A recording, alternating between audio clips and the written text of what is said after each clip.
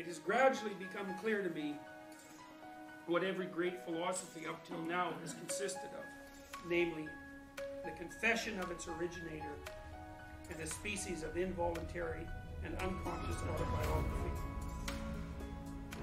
Well, that's a deceptive, that's a deceptively simple sentence, even though it's not a particularly simple sentence, because it, it stands on its head what people generally assume about the process of thinking. You generally think that when you're thinking, you're thinking about, as I mentioned before, the structure of the objective world. But Nietzsche is making an entirely different point here. What he's fundamentally doing is treating the philosopher not as a rational being, but as a living being. And there's a big difference between being a rational being and being a living being. Because if you're a living being, your primary goal is to do whatever it is that furthers your life. And if you're a rational being, then your primary goal is to do whatever it is that a rational being might do. And you could say that a living being should first and foremost be a rational being. And in some sense, that's the message of the, of the Western Enlightenment.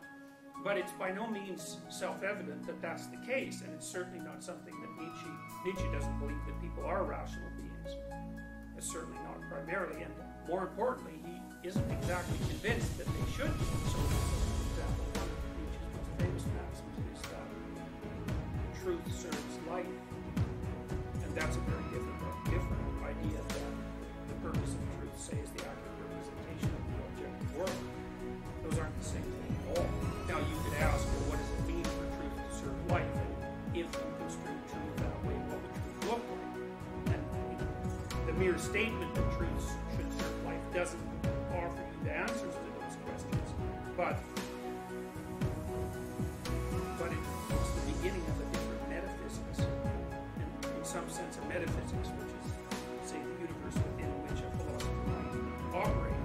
A metaphysics is the initial structure of presuppositions within which a view of the world is organized. One presupposition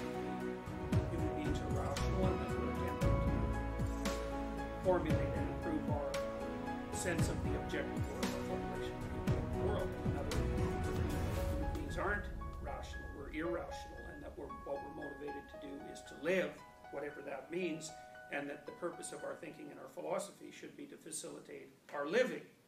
And that's Nietzsche's, that's one of the foundation blocks of Nietzsche's philosophy.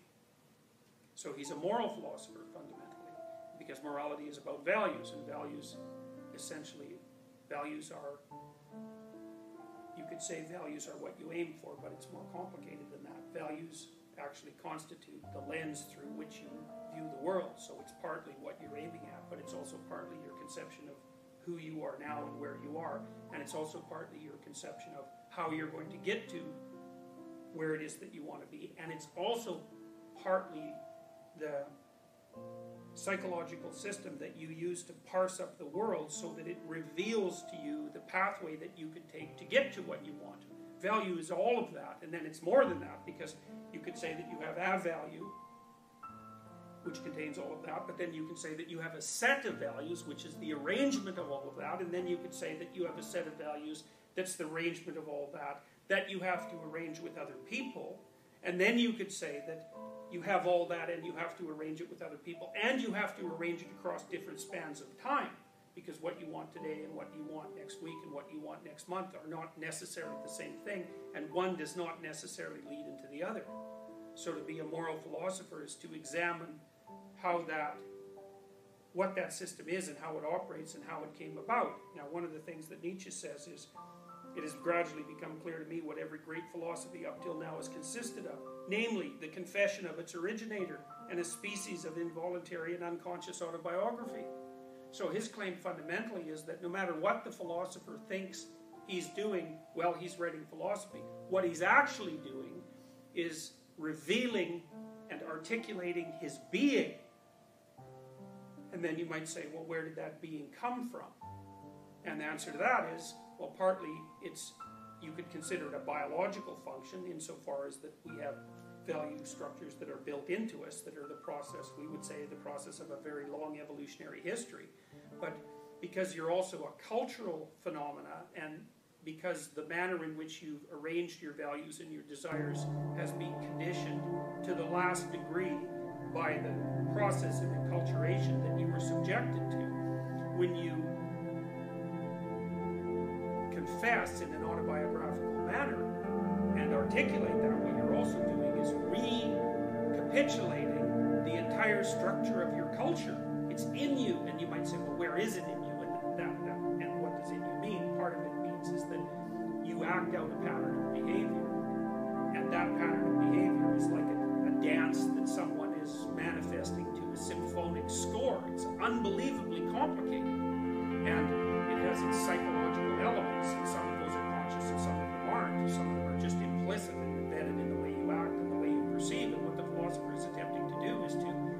reveal those to himself and to articulate them so that the entire structure can be analyzed.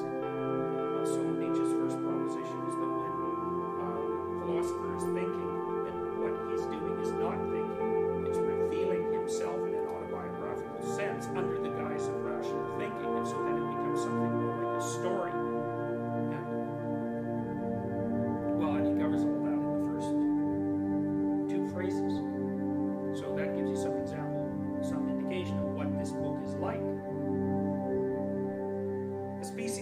involuntary and unconscious autobiography.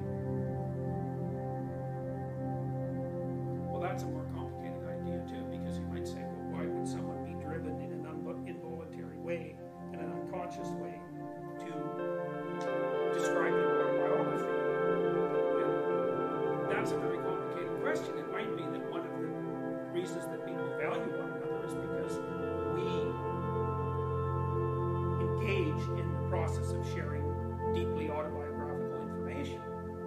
You tell me your story and I tell you my story, and you might say, well, why, why do we even bother with such things? And the answer to that is, well, if you can tell me about the pain and tragedy that you've encountered, then that gives me a better way of, that gives me a better vision of the dangers of the world without actually having to expose myself to those dangers, except in simulation. I might feel sorry for you, I might feel bad about your tragic experiences, but I'm not bleeding for them.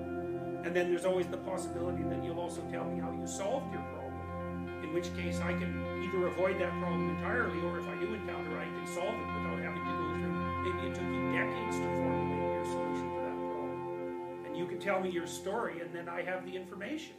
And so that's part of what human beings are always trading. That's why we talk to each other. That's why we can communicate. And so Nietzsche would say, well, it's, it's involuntary and conscious. Involuntary and unconscious. He's fact that that proclivity is so deeply embedded in people, that, that desire to, to make an autobiographical recounting, that it serves as the kind of motivation that we don't question for doing almost everything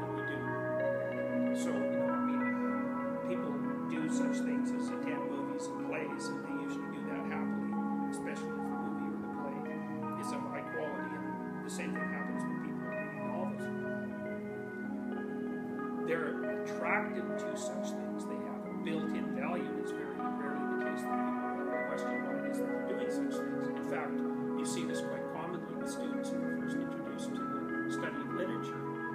The, the introduction of the idea that you should analyze what it is that you're engaged in when you're reading actually comes as unwelcome news to most people who are inclined towards fiction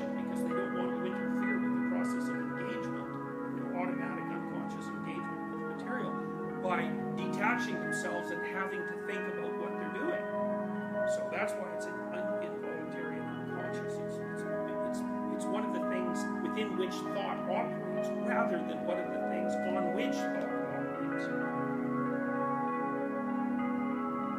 Then he says the moral or immoral purpose in which every philosophy has constituted, sorry, the moral or immoral purpose in every philosophy has constituted the true vital germ